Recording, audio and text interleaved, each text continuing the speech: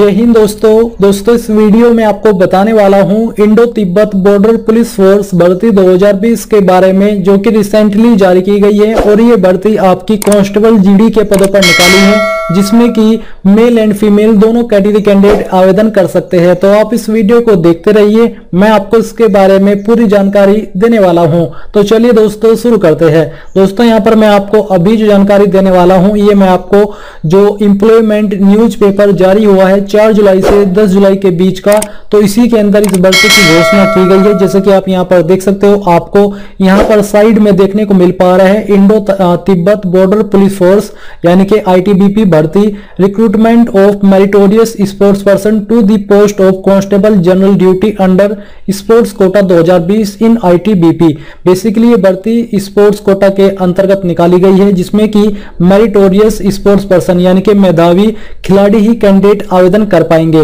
तो यहाँ पर जो आपकी टोटल वैकेंसी निकाली है वो 51 है और पोस्ट का नाम आपका कांस्टेबल जीडी है, जिसमें कि अलग अलग डिसिप्लिन के लिए भर्ती निकाली है। इस भर्ती पर आपको जो सैलरी दी जाएगी वो आपकी इक्कीस रुपए से लेकर उनहत्तर दी जाएगी।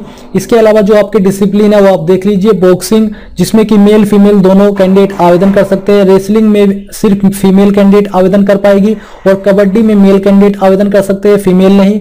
और यहाँ पर वॉलीबॉल में आपके मेल फीमेल मेल कैंडिडेट आवेदन कर पाएँगे। स्पोर्ट्स स्पोर्ट्स शूटिंग में मेल फीमेल दोनों और आइस हॉकी में सिर्फ़ मेल कैंडिडेट आवेदन कर पाएँगे। अब यहाँ पर थोड़ा सा आपको नीचे आकर के इसकी जो एप्लीकेशन फ़ीस है वो जानने को मिल जाएगी। यहाँ पर सौ रुपए एप्लीकेशन फ़ीस रखी गई है।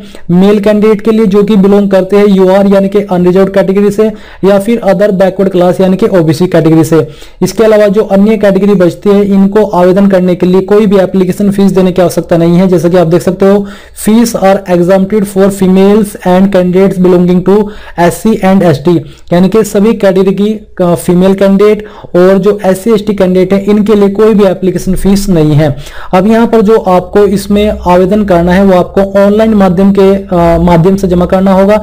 यानी कि ऑफलाइन वे में आप इस फॉर्म को नहीं भर पाओगे।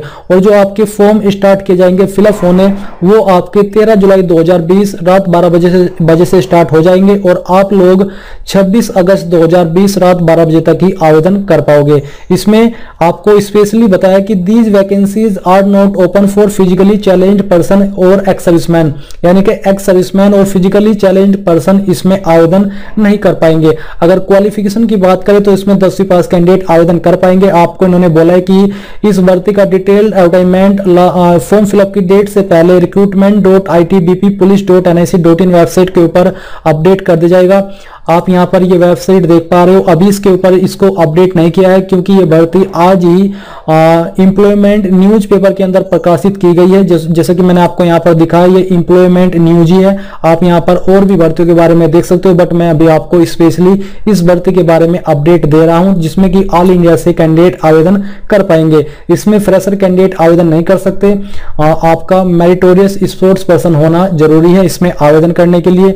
और यहाँ पर आपका जो डिसिप्लिन आपको दिए जा रहे हैं। इसका मतलब ये है कि आपने इन डिसिप्लिन में स्टेट लेवल नेशनल लेवल या इंटरनेशनल के लेवल के ऊपर खेला हो, तभी आप इसमें पूरी तरीके से एलिजिबल हो पाओगे आवेदन करने के लिए। डिटेल्ड जानकारी आपको यहाँ पर जैसे ही ऑफिशियल नोटिफिकेशन अपडेट होगा फुल्ली उससे दी जाएगी और साथ ही जैसे ही आपका अप्लाई लिंक एक्टिवेट होगा, आपको फॉर्म फिलअप की वीडियो भी मिल जाएगी। अगर आप इस भर्ती में आवेदन करने के लिए एलिजिबल हो तो आप इस वीडियो को लाइक करें शेयर करें एंड इस चैनल को सब्सक्राइब करके बेल आइकन को ऑन कर लें, ताकि आपको आगे आने वाली सभी वीडियोस के अपडेट आईटीबीपी भर्ती से रिलेटेड मिलते रहे।